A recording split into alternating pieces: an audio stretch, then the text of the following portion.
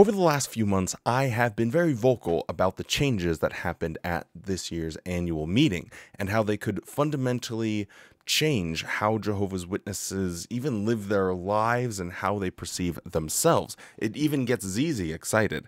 But with all that being said, we finally have our first glimpse of the printed version of a watchtower, and this is via a leak that came out on Reddit. So let's do this.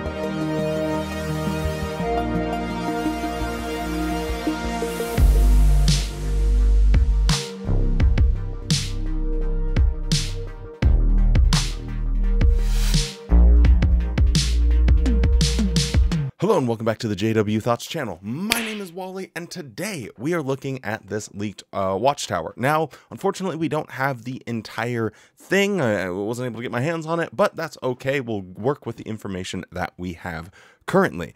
And I find it kind of interesting uh, how they talk about this because it's some of the points that I brought up as sort of a counter to the narrative that they were mentioning. Quickly, before we get into it, don't forget to drop a like on the video and subscribe to the channel. It helps it get out to more people on YouTube. With all of that being said, let's do this. So, as we can see here, this is the May 2024 Watchtower, which will be discussed sometime between July 8th and August 11th. So, a little bit down the road, but as we know, they print and make these watchtowers like six, eight months in advance. So, and they plan them even farther out in advance. But let's get a little glimpse of what this has to say. Now, again, I don't have the entire article, but I'll show you what was actually leaked. So, starting here with this section on what we do not know. In the past, our publications have considered the question of what happens to those whom Jehovah judges as unrighteous. We have said that for such individuals as those in Sodom and Gomorrah, there is no hope of a future resurrection. But further prayerful study has raised the question can we really say that with certainty? Consider a number of related questions. Several Bible accounts describe Jehovah's judgments against unrighteous people, such as the unknown numbers who died in the flood or the seven nations in the promised land, that Jehovah ordered his people to devote to destruction, or the 185,000 Assyrian soldiers slain by an angel of Jehovah in a single night. In these cases, does the Bible give us enough information to, ter- to determine that Jehovah sentenced all those individuals to eternal destruction with no hope of a resurrection? No, it does not. Why can we say that?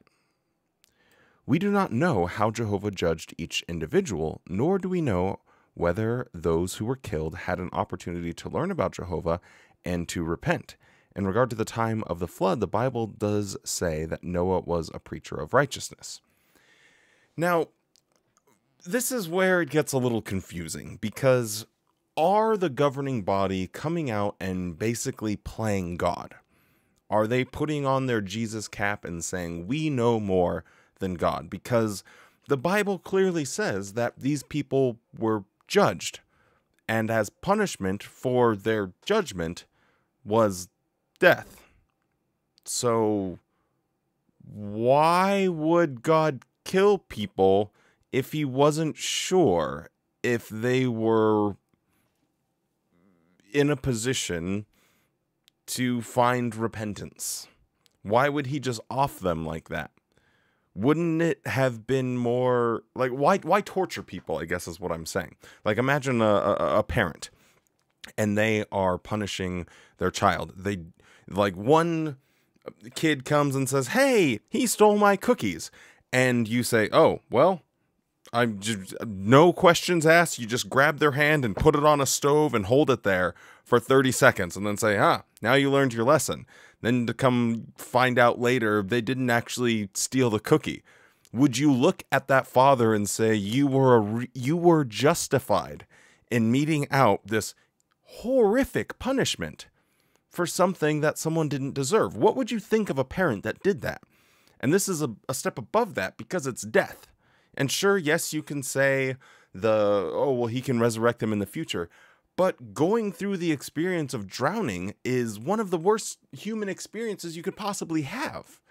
So why why would God do that? If we're going to look at God as this loving parent. But it does not say that while he was building a colossal ark, he was also attempting to reach every individual on earth who would face destruction in the deluge. Similarly, in the case of the nations of Canaan, we do not know if all those wicked people had an opportunity to learn about Jehovah and change their ways. What of the people of Sodom and Gomorrah? A righteous man named Lot lived in their midst. But do we know that Lot preached to all of them? No. They were certainly wicked, but did they all know any better? Recall that a crowd of men in the city sought to, uh, our word, Lot's guess. The Bible says that the mob ranged from boy to old man. Do we really know the merciful God, that the merciful God, Jehovah, condemned each one to death with no hope of resurrection? Jehovah assured Abraham that there was not even ten righteous men in the city. So they were unrighteous, and Jehovah justly held them accountable for their actions. Can we say for certain then that none of them will rise in the resurrection of the unrighteous? No, we cannot say for sure. So this is something that I brought up in the last video I made about this is they the question was asked. Abraham was like, "Well, if there's 100, if there's 50, if there's 10, will you save them?" And he's like, "Yes, of course. I will spare the city, the entire city if there's even 10 righteous people." But when the judgment was made, there wasn't. So God assessed the situation, read the room, and said, Unfortunately, you guys are a bunch of devious vagabonds that need to be blasted with fireballs. And so he blasted them with fireballs. Even the sons in law of Lot, they kind of let, when the angels came and said, You need to get out of the city. In the Bible, it says, Oh, they thought it was kind of a joke. So they were even blasted. It's a incredible amount of hubris for the leaders of Watchtower to look at these scriptures where it clearly says that God made a judgment call and then to call into question the validity of that call that he made. If he looked upon the entire earth in Noah's day and saw that no one was righteous except for Noah and his family, so he drowned everyone, who are they to say that well, maybe there was some people. Now, that question is is relevant because a big criticism that Watchtower gets is hey, what about kids? What about, you know, these people in this faraway land and country? Like, how could they have possibly known anything about God?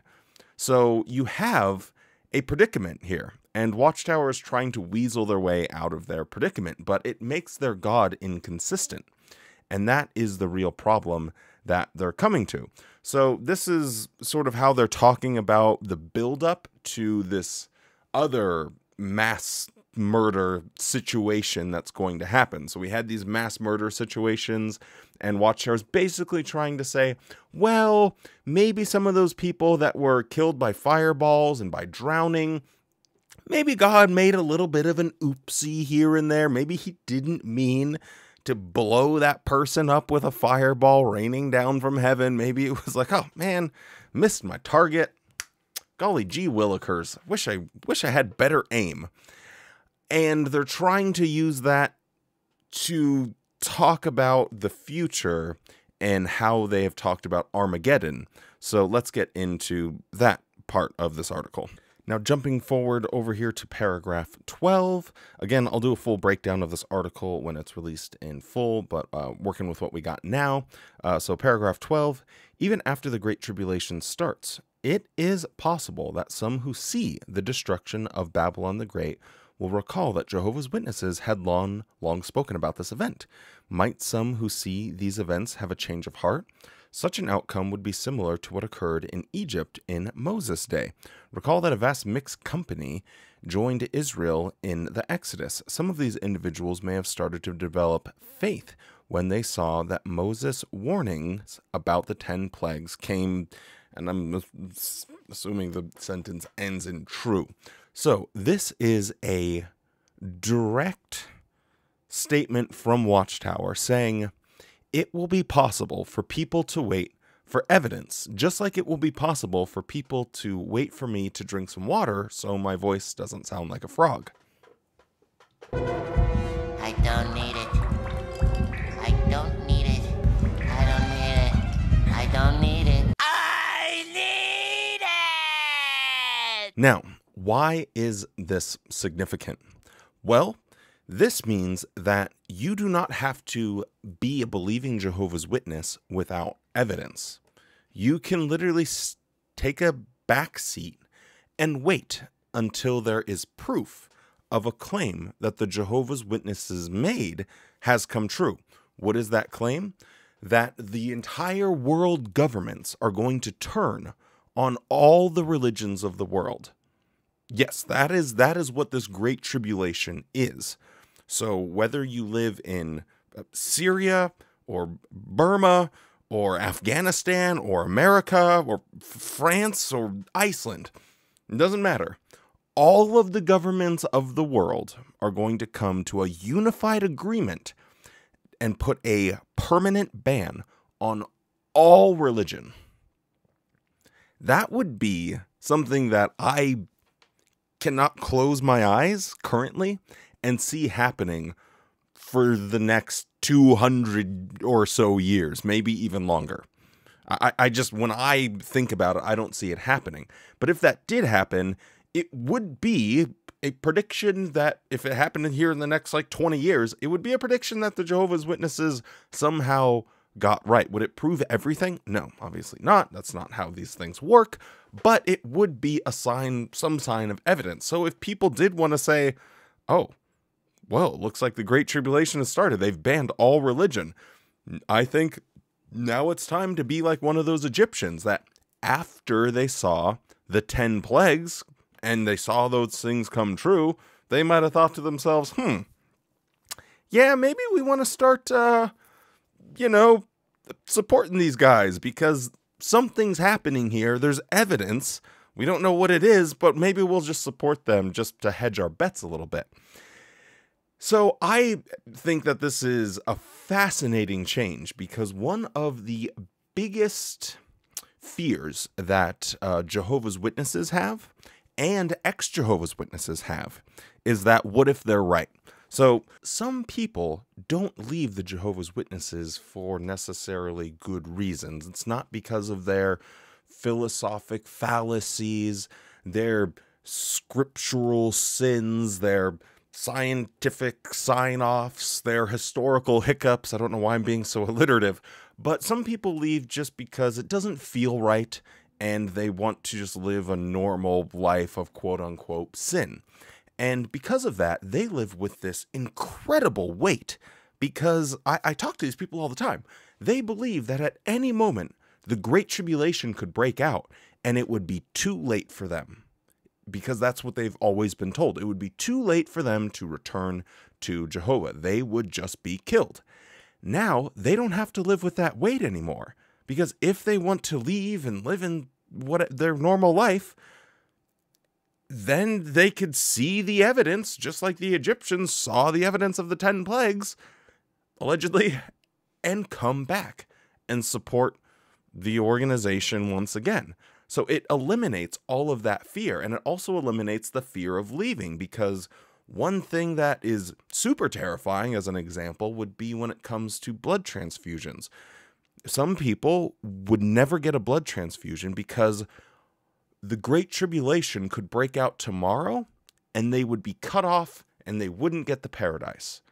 Now, that same person that's contemplating having their life saved by getting a blood transfusion are they going to think to themselves, well, I can still wait till there's evidence that all of these things are true and I can still come back? Maybe I'll just save my life. Sounds pretty good to me. So it's it's a massive fundamental change that's happened. Now, I do want to talk about one other thing, and uh, I guess I have to do these qualifiers here because we have this baffling phenomenon that exists within the community where if you disagree with someone, somehow it's seen as an attack or like you're causing or stirring up drama when in the real world that's not the case. If if someone asks me, "Oh, what's your favorite food?" and I say, "Oh, Vietnamese and French." What's your favorite food? "Oh, Italian and Mexican. Oh, I can't believe you would attack me by saying that your favorite food isn't Vietnamese and French. It's just it's it doesn't. I've never seen it exist anywhere else, but. Uh, I, I don't think it's healthy because if we have that mentality where there is no critique and there's no criticism, uh, it gets a little culty. Criticism, critique, culty. See, we're still being alliterative, so hey, we're we're banging on all cylinders. But um, someone emailed me a, a clip uh, from Lloyd Evans and his uh, rebuttal to the annual meeting, and I found the I, I I'll be completely honest, I didn't watch the entirety of his video. It was over an hour long, but I did see the clip that someone sent me, but it doesn't seem like it's out of context. It seems pretty straightforward. Anyway, I just wanted to talk about it because I think it's kind of a bad take and I just kind of disagreed with it. So, anyway, let's uh, look at what he was saying about the annual meeting, and hopefully, people don't act the most and think that I'm trying to cause drama. I just think it's an interesting talking point. For the record, you can disagree with me, and that's okay. You can disagree with him, that's okay. You can disagree with both of us, and that's okay. You are allowed to have your own positions on whatever you want you know I, i'm not the police here you don't have to like me you don't have to agree with me it's all good across the board but i did think it was at least an interesting talking point because it was a uh, a, a perception of this new light that was diametrically opposed to sort of how I was looking at it. So hopefully, at least, it leads to some interesting conversation. So we've been listening to Geoffrey Jackson speaking at the 2023 annual meeting, and I'm going to be completely honest because I've heard people jumping up and down about this talk in particular.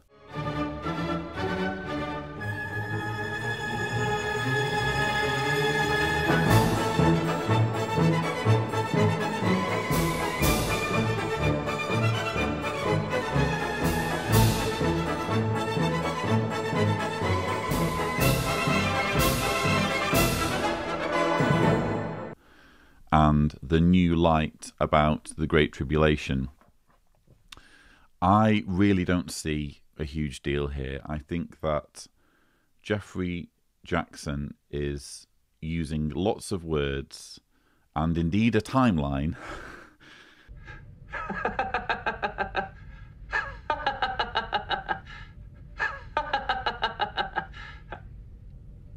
and indeed a timeline to describe not very much of anything at all. Does it really make a huge difference whether people are condemned to death at Armageddon, at Armageddon, or shortly before Armageddon? I would argue it makes no difference whatsoever. I would argue that is hair splitting.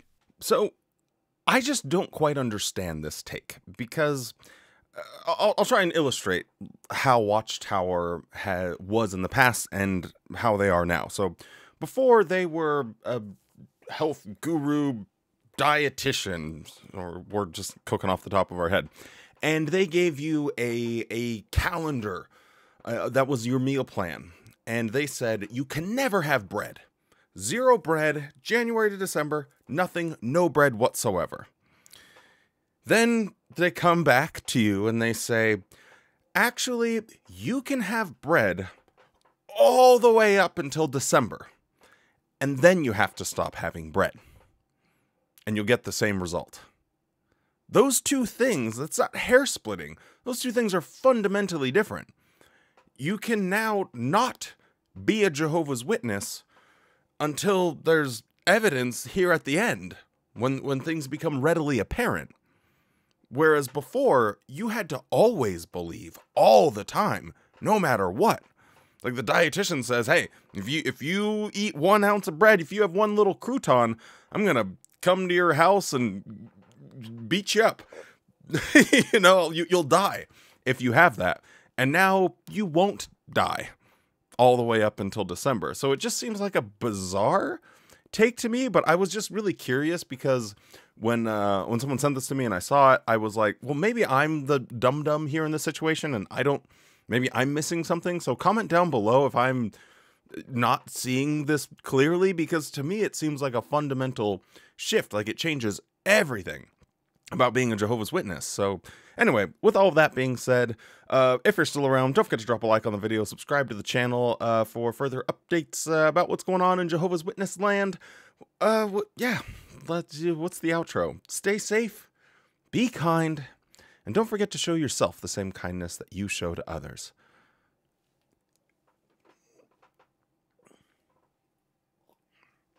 I wonder how hard I'm going to get flamed for just disagreeing with Lloyd Evans.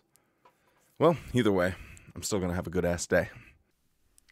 And I think this is a really good example of the governing body trying to send us all up a blind alley by making something sound more interesting and more exciting than it really is.